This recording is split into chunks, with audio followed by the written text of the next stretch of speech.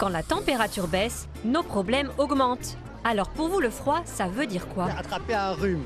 Beaucoup tousser. Il y a des sortes de bactéries dans l'air et qu'on qu'on chope plus facilement un rhume ou quoi. Pour expliquer tous nos petits bobos d'hiver, une visite chez le docteur s'impose.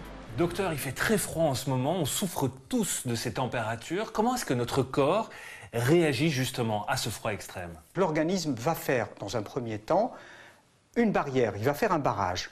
Il fait ce que nous appelons une vasoconstriction des vaisseaux cutanés. Les vaisseaux qu'il y a au niveau de la peau, ces vaisseaux, il va réduire leur calibre. Le deuxième mécanisme de défense, il va faire ce qu'on appelle une chair de poule.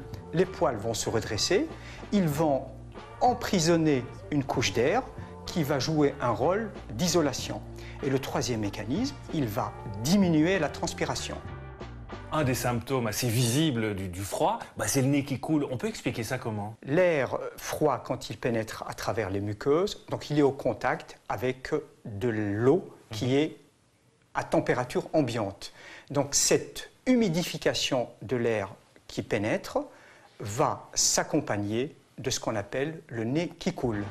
Alors avec toutes ces défenses, pourquoi on tombe malade? Est-ce que c'est par le nez? La première barrière physique qui est le mucus, elle est entre guillemets un tout petit peu altérée, ce qui fait qu'en hiver, par période de grand froid, on est entre guillemets plus sujet à des infections, qu'elles soient virales ou bactériennes. Parce qu'en en règle générale, nos défenses immunitaires sont moins fortes l'hiver? C'est tout à fait vrai, nos défenses immunitaires, comme il fait froid, sont gelées.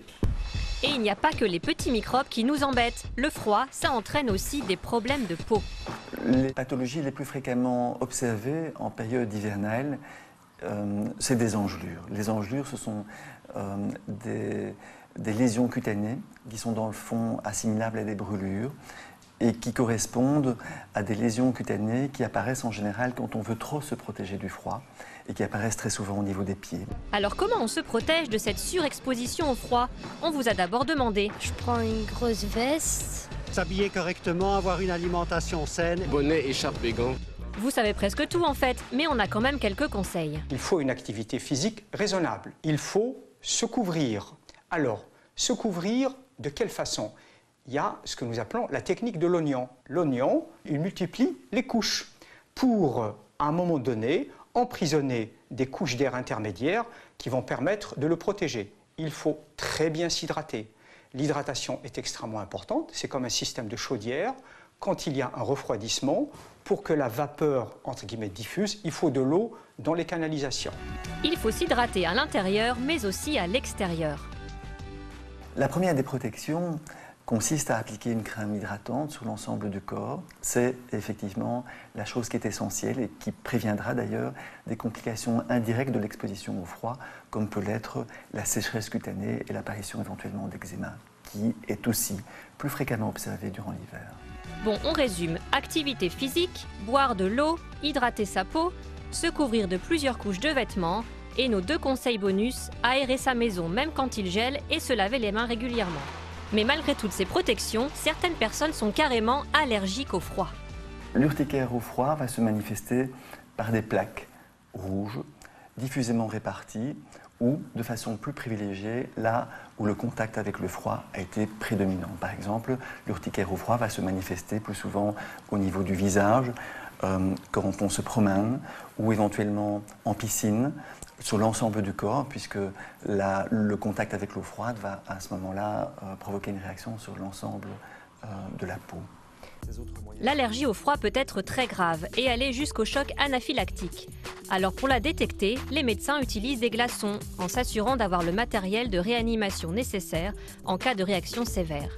Si les glaçons appliqués déclenchent un urticaire, le patient devra éviter les boissons glacées, les baignades en eau froide et les objets froids. On estime qu'une personne sur 2000 serait affectée par cette allergie au froid. Ce n'est pas le cas de Thomas, par contre, il a mal à la gorge. Docteur Layeux, je viens vous voir parce que ça fait plus d'une semaine que j'ai très très mal à la gorge. Je ne sais pas si je dois prendre des antibiotiques ou autre chose. Euh, comment est-ce qu'on peut le savoir?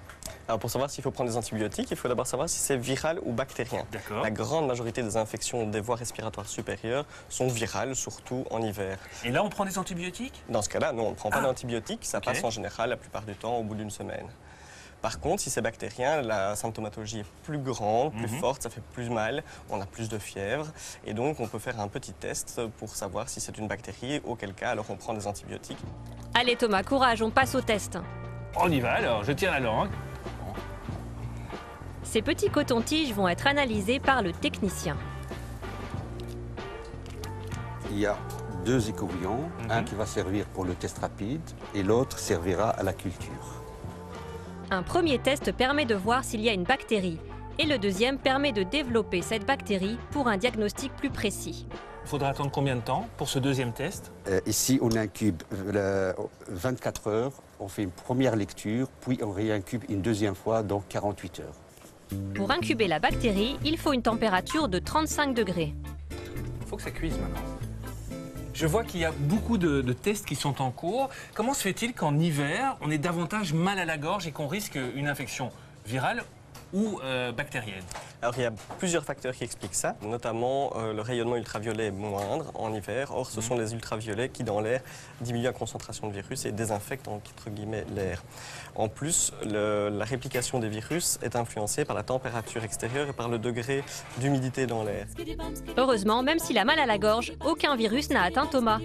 Et Qu'est-ce que vous me conseillez? Alors, les antidouleurs, c'est ce qui marche le Tout mieux. simplement. Humidifier l'air dans la chambre. Il faut attendre euh, que ça passe. quoi. Adoucir, oui. Un bon grog, je peux? Un bon grog, on peut. Citron, miel, beaucoup de rhum. Et beaucoup de rhum. Bon, le rhum pour soigner le rhume, Thomas, on va peut-être éviter. Merci docteur.